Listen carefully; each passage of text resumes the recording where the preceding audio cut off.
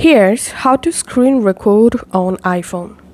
Open your control center and in your control center if you don't see the screen record option then we have to add the control here. So long press on a blank area and tap on add a control and now tap on the search controls box and type here record and here you will find screen recording. So add this screen recording action in your control center. Once added now to record your screen go to your control center. Now hard press on the screen record control. And here to record your microphone also then you can enable microphone from here.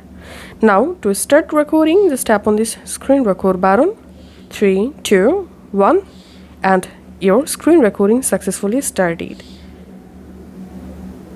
And to stop recording you have to tap on this time icon at the top left corner of your screen or you can go to your control center tap on this record button to stop recording. And uh, here is no option to pause screen recording. Now go to your photos app and here you will find your screen record file. Thanks for watching